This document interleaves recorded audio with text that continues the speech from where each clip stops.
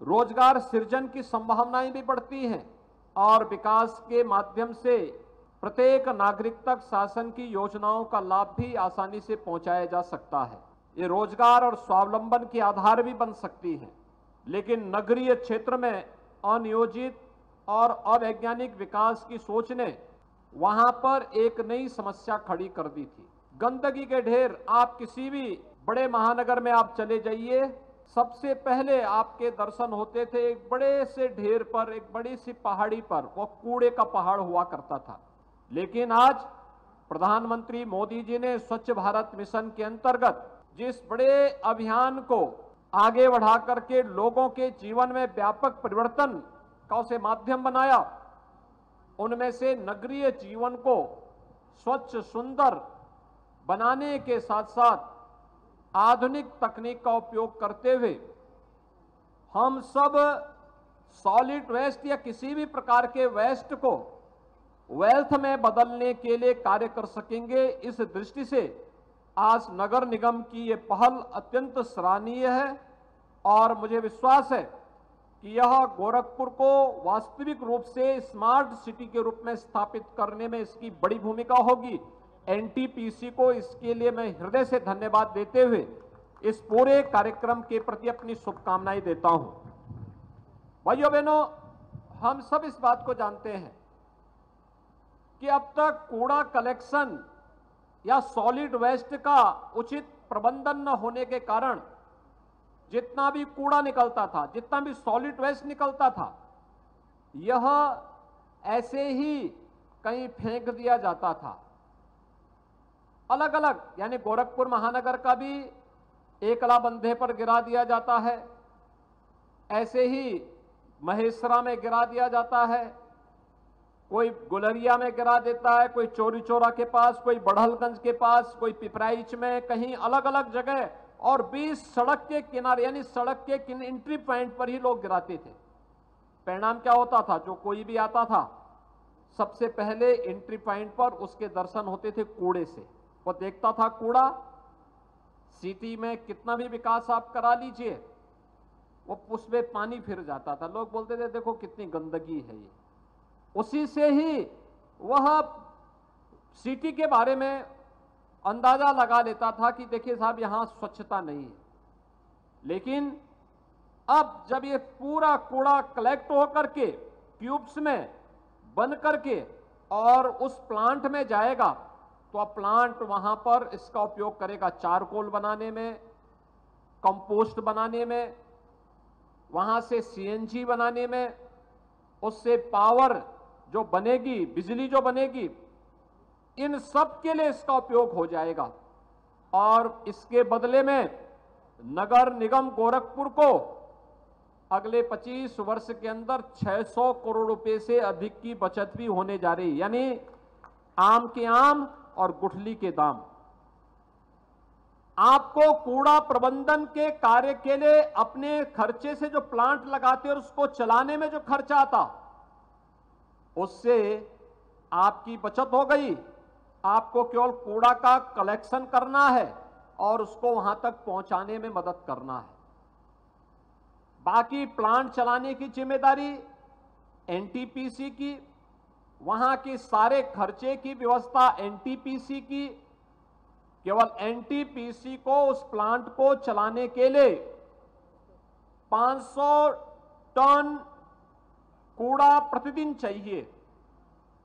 अकेले अगर हम फिर पिपराई, चोरी चोरा, पीपीगंज, कैंपियरगंज, सैजनवा, उनवाल, गोला, उर्वा बाज़ार बढ़लगंज इन सभी अन्य नगर निकायों को देखेंगे तो इन सभी नगर पंचायतों से भी जो कूड़ा आएगा, यह 200-250 टन के आसपास आएगा।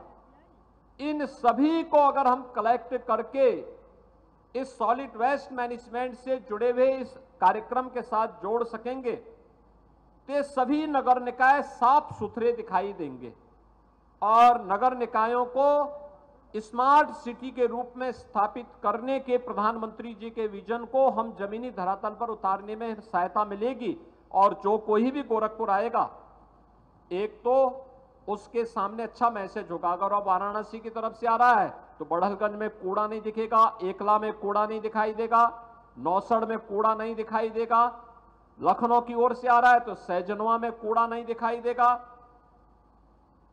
या फिर कहीं इधर आपका देवरिया की तरफ़ से आ रहा तो चोरी चोरा में कूड़ा के दर्शन नहीं होंगे। कुशीनगर की ओर से आ रहा है तो नंदानगर के पास आपको कूड़ा के दर्शन नहीं होंगे। महाराजगंज की तरफ़ से आ रहा है तो गोलहरिया के पास कूड़ा के दर्शन नहीं होंगे। पीपीगंज की ओर से आ रहा है तो वहाँ पे आपको महेसरा में कूड़ा के दर्शन नहीं होंगे, बल्कि एक साफ़ और सुंदर गोरखपुर दिखाई देगा। तो यह हमारी शहर की पहचान होगी। और उस पहचान से गोरखपुर के नागरिकों के प्रति लोगों के मन में एक सम्मान का भाव पैदा होगा। एक स्वच्छता में आपकी पहचान। दूसरा आधुनिक तकनीक का उपयोग करते हुए हम इस कार्यक्रम के साथ जुड़ेंगे। यहाँ का पैसा बचत होगा तो उसको विकास के विभिन्न कार्यों में उस पैसे का उपयोग किया जा सकता है। तीसरा, बिजली की बचत करने के लिए एनटीपीसी के माध्यम से जितने भी नगर निगम और सरकारी भवन होंगे वहाँ पे अपने खर्चे से सोलर पैनल लगाया जाएगा और सोलर पैनल से, यानी जो बिजली पैदा होगी, उस बिजली से जितना आप जलाएँगे, उतने का ही आप पैसा देंगे। शेष जो अतिरिक्त बिजली उससे बनेगी, उसका पैसा एनटीपीसी अपना काटेगा प्लांट लगाने का काटेगा। यानी यह भी एक बड़ा कार्य गोरखपुर नगर निगम के लिए, गोरखपुर के सरकारी भवनों के लिए आज एनटीपीसी इस कार्य को कर रहा है। एनटीपीसी को इस अभिनव प्रयोग के लिए मैं हृदय से धन्यवाद देता हूँ।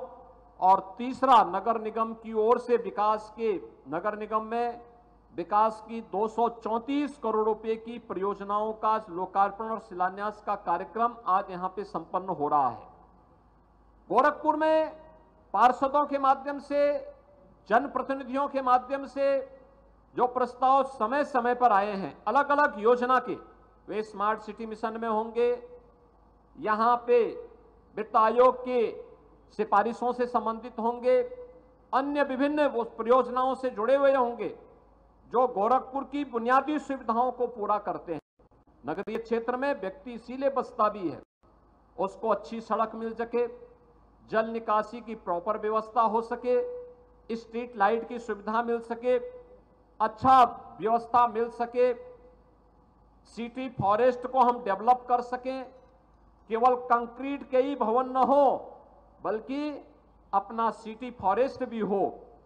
इस प्रकार के सभी कार्यक्रमों को आगे बढ़ाने के लिए आज यहाँ पर 234 करोड़ रुपए की परियोजनाओं का लोकार्पण और शिलान्यास का कार्यक्रम भी हो रहा है, जिसमें गोरखपुर का एक मियावाकी फॉरेस्ट, घना जंगल, सिटी के अंदर, सिटी से जुड़ा हुआ, यह नगर क्षेत्र में एक लाख वर्ग मीटर में यह डेवलप करने का कार्यक्रम हो रहा है और इसका भी स्थापना का कार्यक्रम आज हो रहा है। एक केयर सेंटर की स्थापना, जो बुज़ुर्गों के लिए केयर सेंटर की स्थापना कार्य, जोनल कार्यालय की स्थापना, फ़ूड स्ट्रीट की स्थापना इंदिराबाल बिहार के पास, और integrated command and control centre I triple C city के अंदर जितने भी चौराहे हैं मुख्य मुख्य मार्ग हैं, सीसीटीवी से कवर होंगे। वहाँ की व्यवस्था ट्रैफ़िक का ऑटो मोड पर संचालित होगा। लेकिन अगर कहीं किसी ने सुरक्षा के साथ खिलवाड़ करने का प्रयास किया, कोई चोरी, डकैती डालने का प्रयास किया तो सीसीटीवी कैमरे में सब कुछ कैद होता रहेगा। अब कोई व्यक्ति ये नहीं कह पाएगा कि मैंने ये नहीं किया है। वो तो कैमरा सब कुछ बोल देगा, सब कुछ बता देगा। और वे सभी चीज़ एक जगह से मॉनिटर की जा सकती हैं। वह भी आज नगर निगम के द्वारा उसकी स्थापना का कार्य किया जा रहा है। एनिमल बर्थ कंट्रोल सेंटर की स्थापना। आवारा कुत्ते होंगे, स्ट्रीट डॉग होंगे, या अन्य जो इस प्रकार के जानवर होंगे, उनके कंट्रोल करने की व्यवस्था, सड़क और नालियों की व्यवस्था, गार्बेज ट्रांसफ़र स्टेशन की स्थापना, और अन्य तमाम कार्यों को आगे बढ़ाने के साथ साथ एक अभिनव कार्यक्रम के साथ आज गोरखपुर स्मार्ट सिटी के रूप में स्थापित करके नगरीय विकास का एक मॉडल के रूप में अपने आप को स्थापित कर रहा है। वास्तव में गोरखपुर ने पिछले छह वर्ष में एक लंबी दूरी तय की है। इससे पहले गोरखपुर आने में कोई व्यक्ति इसलिए संकोच करता था। कहता था, साहब, आएँगे, जाम में फंस जाएँगे। आज भाइयों बहनों गोरखपुर में सभी प्रमुख मार्ग फोर लेन, सिक्स लेन की हो चुकी है। अन्य मार्गों को भी उस रूप में बदलने की कार्रवाई चल रही है। जैसे आपने देखा होगा, गोरखनाथ मंदिर के पूर्वी गेट से लेकर के स्पोर्ट्स कॉलेज तक और मेडिकल कॉलेज तक का मार्ग अब फोर लेन में बदल चुका है। एकदम सिंगल लेन का मार्ग था। आज फोर लेन में आप जाएँगे, जिस दूरी को तय करने में पहले आधा घंटा लगता था, आज उस दूरी को मात्र पाँच मिनट में आप तय कर देंगे। समय की भी बचत होगी लेकिन साथ साथ विकास की ढेर सारी संभावनाएँ उस रूट पर बदलती हुई, बनती भी दिखाई दे रही हैं। ऐसे ही अन्य मार्गों पे भी कार्य हो रहे हैं। हमें विकास की सोच के साथ आगे बढ़ना पड़ेगा। आज ये गोरखपुर की पहचान बन रही है, अच्छी सड़कें। जल निकासी, आपने देखा होगा, तीन वर्ष पहले तक एक बारिश पड़ती थी, अगर एक घंटा बारिश पड़ गई आधा गोरखपुर जलमग्न हो जाता था। दो दो तीन तीन दिन तक पानी भरा रहता था। लेकिन आज गुड़दोहा नाले के विकास के साथ जिस प्रकार के कार्यक्रम आगे बढ़ रहे हैं, गोरखपुर के नाले और नालियों की सफ़ाई करके समय से उसको तैयार किया जाता है। परिणाम है, गोरखपुर में अब जल जमाव की संभावना कम है और जैसे जैसे ये सभी परियोजनाएँ मूर्त रूप लेंगी, आप देखेंगे कि गोरखपुर में जल जमाव की समस्या का स्थायी समाधान हो जाएगा। इसी प्रकार से गोरखपुर के अंदर एक एक करके समस्याओं का समाधान होता हुआ दिखाई दे रहा है। कभी गोरखपुर में स्वास्थ्य की सुविधा का अभाव था, मेडिकल कॉलेज बिहाड़ी मेडिकल कॉलेज स्वयं अस्वस्थ था।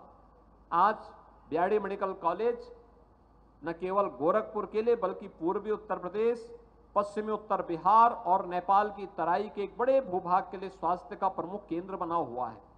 सुपर स्पेशलिटी ब्लॉक और बाल विभाग भी जिस तेज़ी के साथ वहाँ भवन बना है, वह तो हम सबके सामने है ही। एम्स गोरखपुर का निर्माण भी आज होने के बाद विकास की ढेर सारी संभावनाएँ आगे बढ़ी है। फर्टिलाइज़र, रामगढ़ ताल, ये सभी एक नई पहचान गोरखपुर को दे रहे हैं। और इस नई पहचान के साथ गोरखपुर के प्रत्येक वासी का जुड़ना उतना ही महत्वपूर्ण होगा। और उसी से आज ये सभी कार्यक्रम आगे बढ़ाने के कार्य हो रहे हैं।